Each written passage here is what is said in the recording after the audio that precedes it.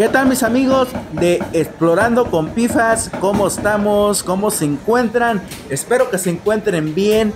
En esta ocasión nos encontramos haciendo contenido en la ciudad de Misandra, Veracruz, México.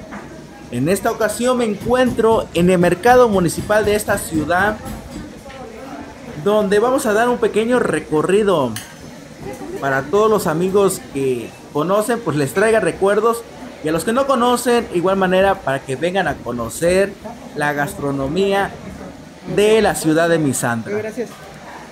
Está tan solo unos pasos de la capital de Jalapa a esta ciudad. Más o menos dos horas y media en coche a tres horas. Pueden venir a visitar. Les va a encantar las maravillas de esta ciudad. Muchas culturas, tradiciones, costumbres.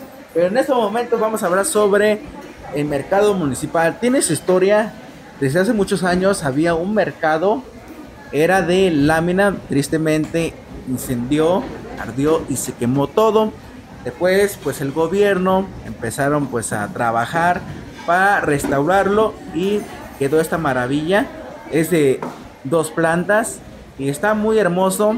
Puedes caminar cómodamente, este, disfrutar pues la comida que hacen en este mercado. Puedes encontrar toda, toda la variedad de comida, antojitos y tacos. Te vas a ir sorprendido de este mercado. Puedes encontrar pancita de res, mole acompañado con arroz, pollo en chiltepín, pollo en pipián, camarones y mucho, mucho más. De igual manera, antojitos, empanadas, gorditas, enchiladas y más y más antojitos. Y obviamente no puede faltar el tradicional, tradicional taco, tacos misantecos. Así lo nombran, tacos misantecos, porque Misandra está nombrado como los tacos misantecos lo mejor de todo el mundo. Así que tienen que venir a Misandra a probar los deliciosos tacos en el mercado municipal de esta ciudad. Y no se les olvide de comentar, de darle like al video y de compartir. Muchas gracias.